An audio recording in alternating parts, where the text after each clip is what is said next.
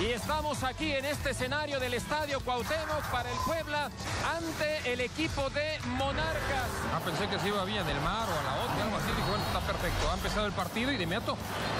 Tres segundos, doctor. Primera falta del juego. Caía dramáticamente en el ataque cuando ya trataba de encarrilarse rumbo al arco el propio Orozco.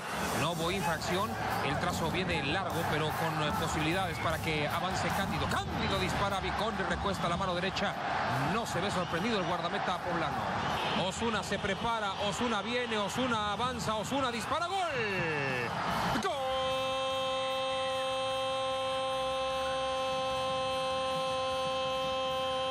Han pegado a los defensores. La bajó mal, ¿sabes? Sí, sí, sí, la bajó muy mal.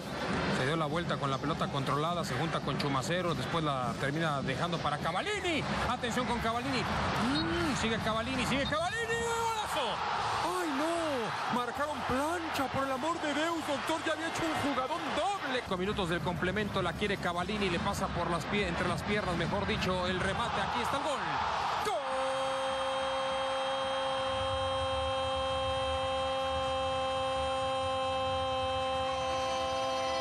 La quiere Cavalini, Cavalini la dejó hacia atrás, atención con esta, puede ser para el pueblo, aquí en la victoria, el disparo, en el fondo está Malagón, doble atajada en el partido para evitar la caída de su equipo, Malagón le da el empate a la monarquía. Sí, si había dudas como tal, hace una gran atajada, Cavalini en vez de meterle todo el empeine le mete la parte interna y es por eso que la pelota no va con tanta fortaleza.